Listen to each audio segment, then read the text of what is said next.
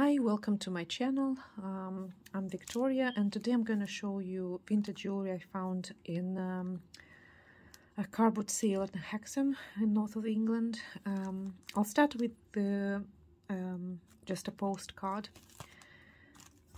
Uh, I, I, just liked the girl on, on the postcard. Sort of this beginning of the 20th century hairdo and the dress and all that. And um, it's addressed to Miss Edith Johnson in 26th of May 1912 and you can see King Edward and the halfpenny mark uh, card, the postcard, postmark. And uh, dear, and it's sent from Birkenhead and it says, Dear Edith, um, can't really understand staring, starring, a fine limit. I, I, I don't know if it looks like limit to me, but it might be something else. Something lovely weather. Going to Southport tomorrow on Saturday. Uh, to someone.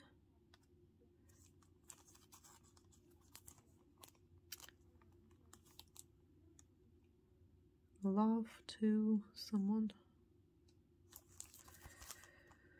Miss Edith Johnston. Don't really understand that. I don't know, I thought it's sweet. It cost me two pounds. So I'll start with the jewelry. Now, this crystal is already falling, so I'm going to be very careful because I haven't glued it yet. Uh, this is um, this is Coro. Where is it?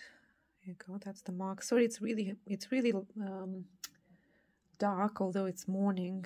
But it's for some reason worse with the lights on. So I'm just gonna show it as it is. Uh, so this is American company Coro, but they were doing some jewelry in England as well. So this is probably the most common American company. it fell. Where's that crystal?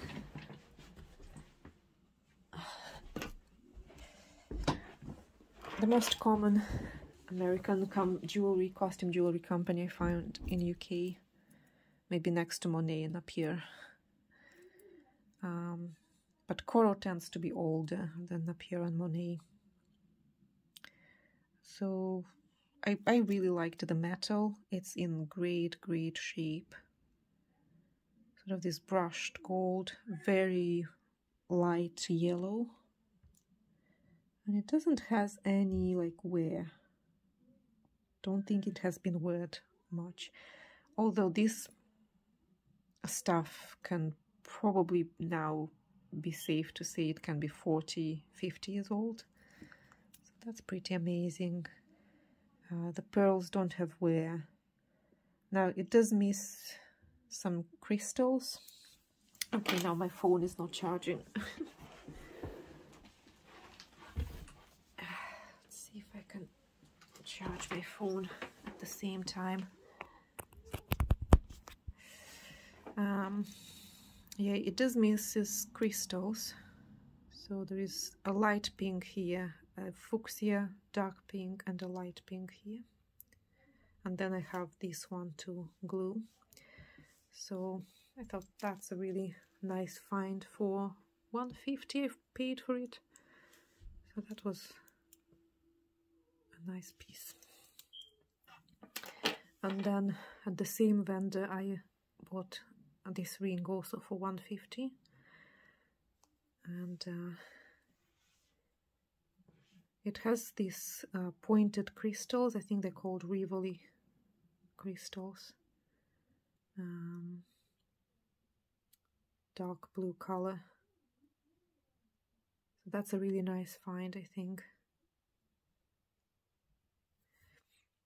And it's adjustable. And another company that I often find, especially rings, I don't know why, If I find a ring, it's probably Sarah Coventry. And I think because they were also, it, it's also American, but they also produced stuff here in UK. So if I find a nice vintage ring, that's Sarah Coventry. It's a really nice, really nice piece. Um, and then I found this small brooch for one pound. And this is probably modern and it's maybe it was sold in a museum because it's in the style of Rennie Mackintosh rose flower. This um, Scottish was it was it was it Art Nouveau or Impressionism? I'm not sure. I'm not sure what style of art was he doing. And then I bought these for 150 and this is a um, violin brooch made with brass and mother of pearl. And it uh, looks old but also it has a, a year not a date but a year scribbled on it. 1931 and then again here 1931 I don't know who scribbled that who scratched it on the map on the brass and why. Well, it is probably from 1931 or something like that. And I really like the mother of pearl. It's all a bit wonky but and then this bracelet like filigree bracelet with butterflies is marked 800 so it's um, 800 sort of low percentage of silver and it's probably French or European or something like that because they used this mark a bit more. Um, and then I always buy dress clips when I find them. Uh, this one was two pounds. And it's like cut steel. It's not marcasite. They look like crystals or marcasites, but no, they're cut steel. But it does has this wonderful dark blue, sort of indigo color, glass cabochon. And um, you would put that on your dress sort of if you had two usually they were in pairs so if you had two you would put that on the other side of your collar. Or you could put that pin a scarf maybe or in the middle depending on the shape in the middle of your cleavage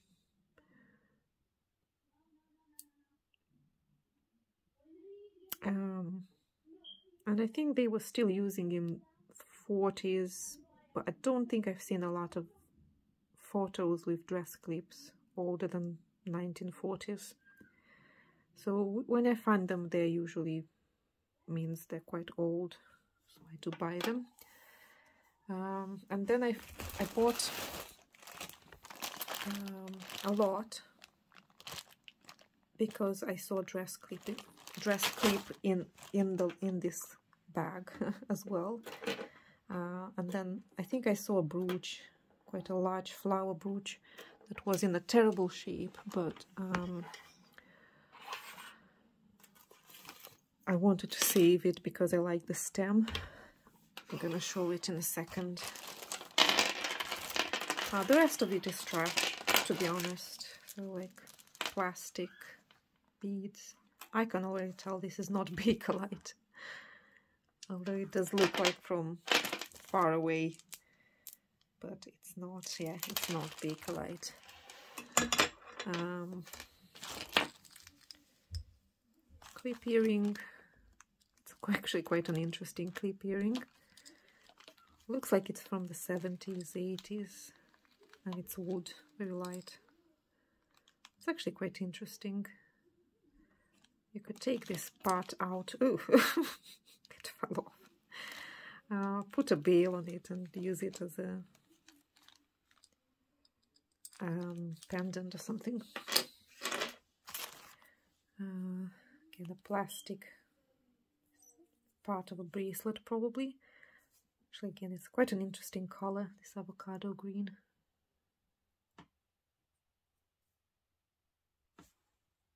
I test it for Bakelite too. I don't think it is. It all looks very 70s. Yeah, it's not Bakelite. Although...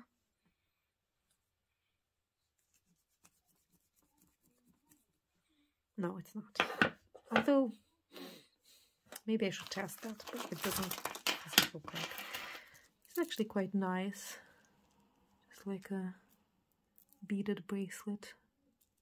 It has like this amber topaz color beads.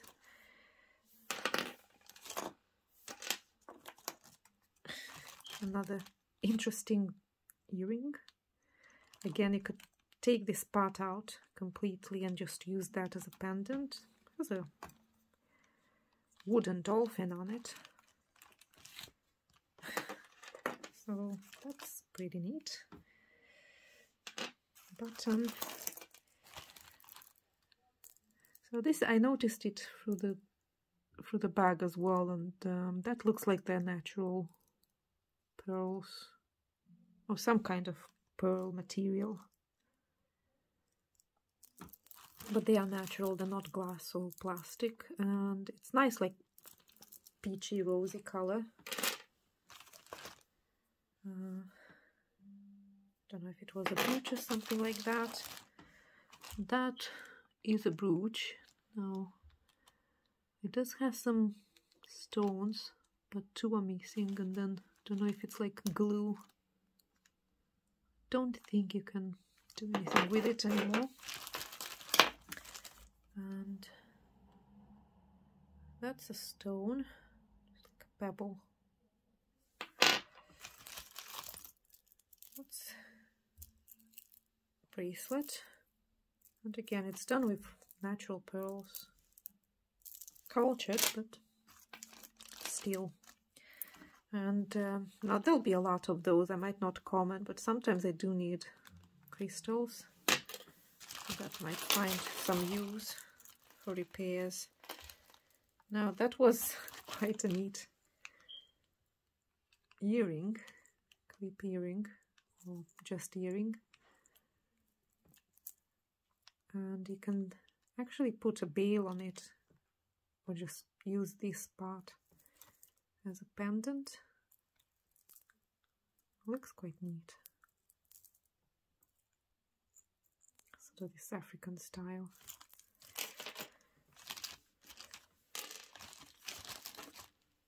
Again, I might use the crystals, the rhinestones. That looks like amber. Some amber beads. I don't think I'm gonna find here the second one. I might use the beads somewhere. Now that's a brooch. Looks quite old, maybe 40s does has a lot of missing stones though and it's sort of darkened but maybe if you can clean it. Some beads. Again the earring actually quite a sweet one.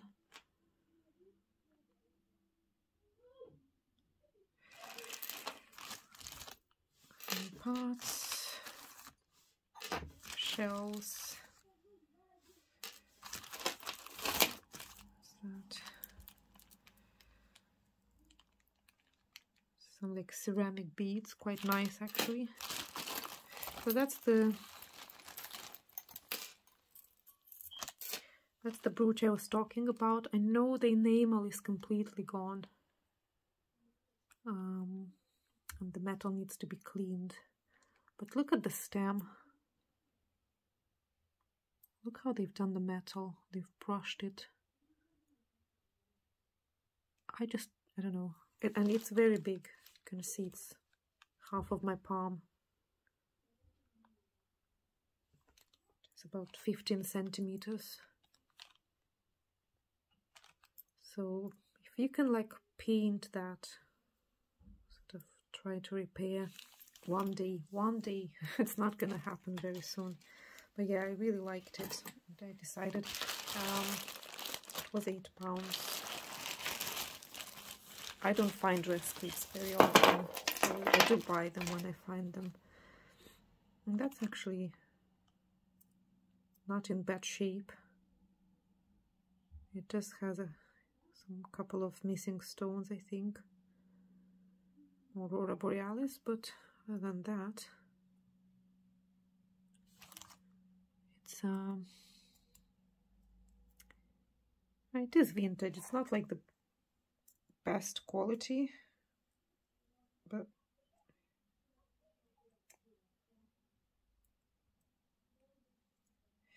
okay, I think it this is not working very well. But we'll see what we can do. Another one of these things. Earring with like um looks like it's hand painted bead made of clay. Neat. It's broken though.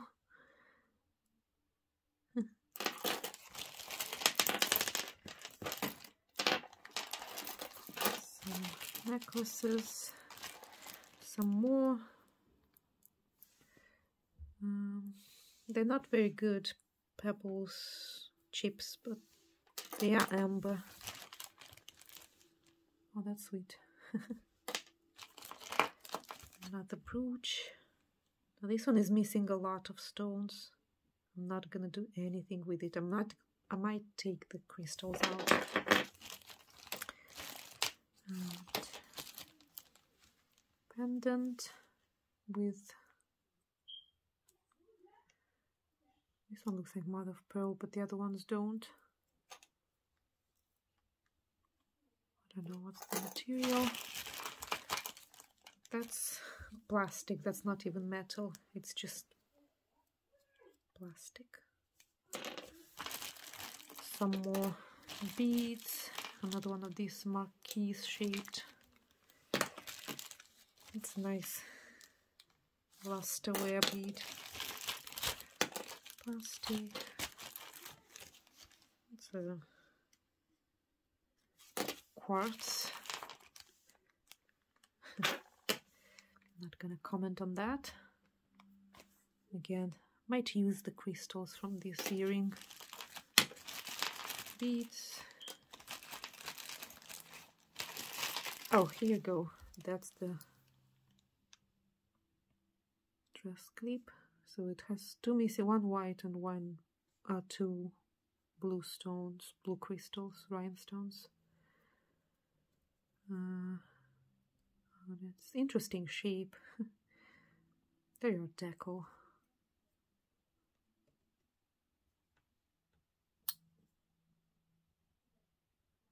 Be nice to have a pair of them. So you put it like that on if you had this uh, kind of cleavage. You, would, you can put them on either side. Very nice. And a flower some more amber beads.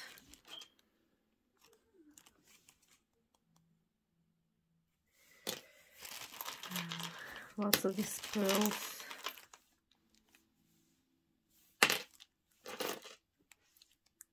It's actually glass. Sort of pearlescent glass bead.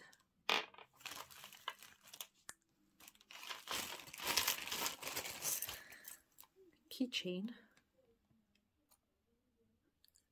There's no missing stones on this. Obviously it's new, but... There's all the rhinestones. Oh no, it's missing one here. And here, and here.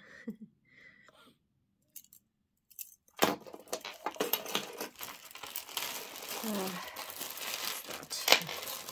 a tango. More amber. What's that?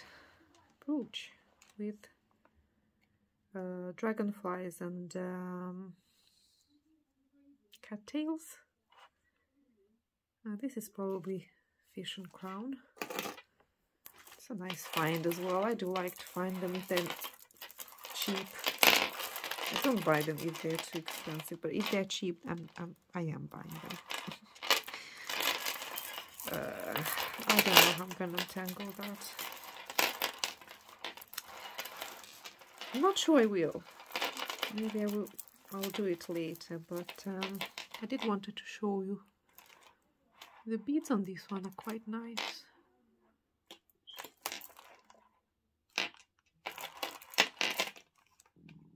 Look at this green one. Or this orange one. And this is all glass beads. Glass pearls. They're not bad. I'll have to untangle everything one day. And then look at this copper thing. It's really neat. It's not finished, and that's what's causing all that. It looks pretty neat. Why did not? Why did you not finish it? look at this mother of pearl to like that.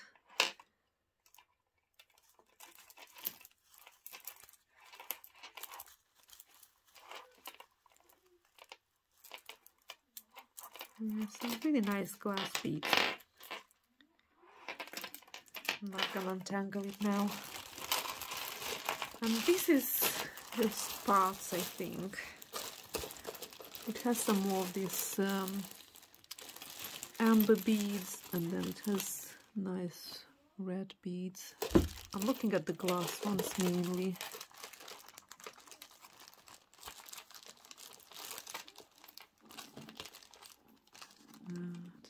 what is that?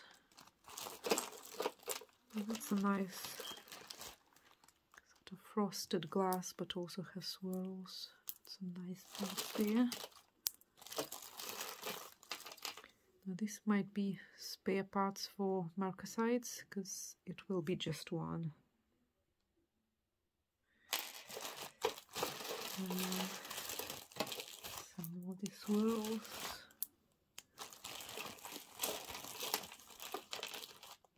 Another one of these black ones.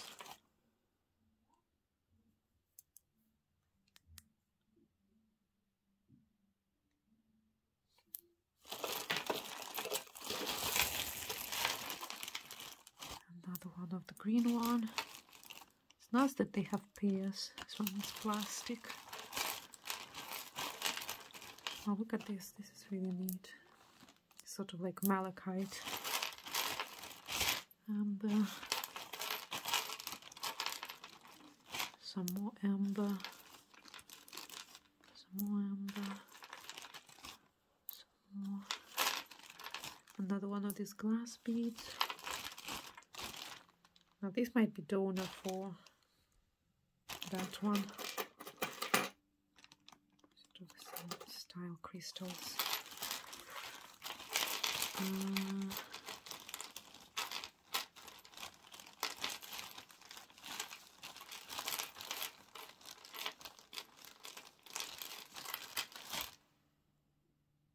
Oh look, this is mother of pearl um, button.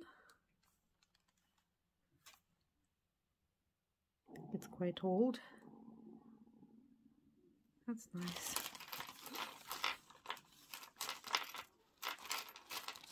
Another one of these black glass bits.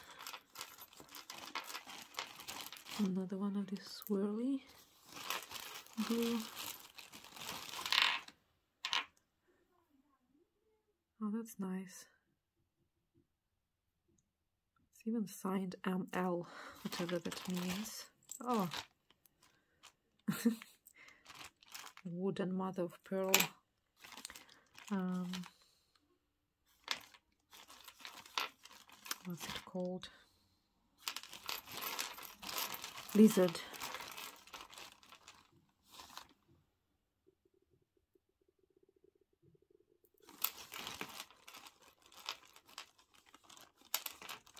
Oh, look at that. That's the tiniest earring, the tiniest crystals in an earring I have ever found.